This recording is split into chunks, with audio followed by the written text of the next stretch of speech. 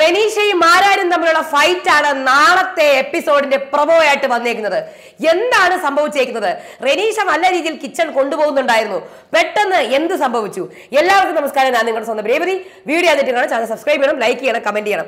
അപ്പൊ നാളെ നമ്മുടെ ലക്ഷറി ബജറ്റും പിന്നെ ക്യാപ്റ്റൻസിയും ഒക്കെ വരുന്ന സംഭവമാണ്. നാളെ ലക്ഷറി ബജറ്റിനകത്ത് പോയിന്റ് ഒക്കെ കട്ട് ചെയ്താണ് ലക്ഷറി സാധനങ്ങൾ കിട്ടുന്നത്.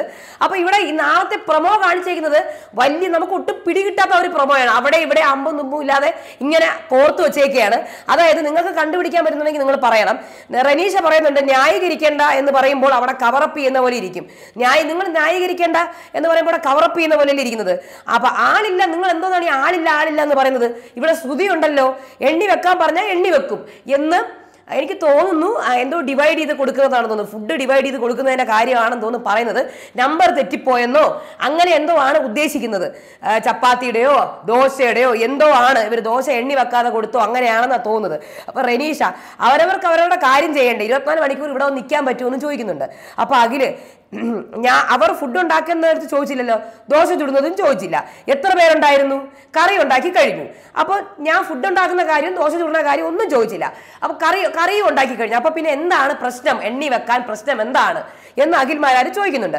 അപ്പോൾ റിനീഷ നിങ്ങൾ കിച്ചൺ ടീമിൽ ഉണ്ടായിരിക്കുമ്പോൾ നമ്മൾ ഇതുപോലെ കുറെ അഡ്ജസ്റ്റ് ഒക്കെ ചെയ്തിട്ടുണ്ട്. നിങ്ങൾ എല്ലാം ചുട്ട് കഴിഞ്ഞ് എണ്ണി വെച്ച് കറക്റ്റ് കഴിഞ്ഞ ശേഷമേ കൊടുക്കുകയുള്ളൂ എന്ന് റിനീഷയും പറയുന്നുണ്ട്. കിച്ചൺ ഡ്യൂട്ടി ചെയ്യാതെ കഴിക്കേണ്ട കാര്യം എന്തുവാണ്? എന്ന് അഖിൽ അഖിൽമാരാർ ചോദിക്കുന്നുണ്ട്. അപ്പൊ റെനീഷ നിങ്ങൾ എന്തുകൊണ്ട് നേരത്തെ കഴിച്ചു? നിങ്ങൾ നേരത്തെ കഴിച്ചില്ലേ? അപ്പൊ അഖിൽ ഇവിടെ ഇവിടെ മറ്റൊരുത്ത ന്യായം ഇവിടെ കയ്യിൽ വെച്ചാൽ മതി എന്ന് പറയുന്നുണ്ട്. അപ്പൊ റെനീഷ കിച്ചൺ ക്യാപ്റ്റനായ ഞാനാണ് പറയുന്നത്. ഇനി റൗണ്ട് ചെയ്തേ കൊടുക്കുള്ളൂ എന്നൊക്കെ പറയുന്നുണ്ട്. എനിക്ക് തോന്നുന്നു എണ്ണത്തിലുള്ള മിസ്റ്റേക്ക് വന്നതാണ്.